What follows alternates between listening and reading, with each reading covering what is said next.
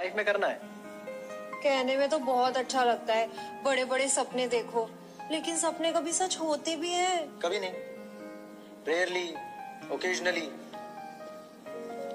अब सपने देखोगे तो टूट ही जाएँगे। इनफैक्ट आईटी तुम में से किसी का सपना होना भी नहीं चाहिए। एक तो वर्ड यूज़ करना छोड़ो तुम लोग सपना। इसे यूज़ करने का मतलब है कि पहले ही मान चुके हो। कुछ होना जाना तो है नहीं देखने की चीज़ें देख ली। एम बोलना शुरू करो। एम।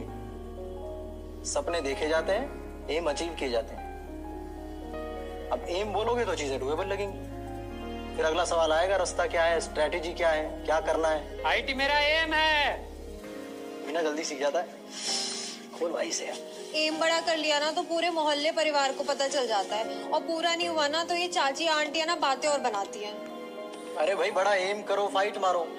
और नहीं हो तो धड़ल्ले से बोलो, जेई एडवांस में रिजेक्ट हुई हूँ। डर किस चीज़ का है? आईटी इसलिए एम मत करो कि उसके बिना लाइफ नहीं है। सुंदर पिचई, अरविंद, कृष्णा आईटीएंस हैं। सत्य नडेला नहीं भी है। और आईटी इसलिए मत करो कि वहाँ पढ़ाते अच्छा है। पढ़ाने वाले मिल जाएँगे हर स्कूल, कॉलेज में। आईटी इसलिए करो क्योंकि टफ है। टफ बैटल लड़ने में कॉन्फिडेंस आता है लाइफ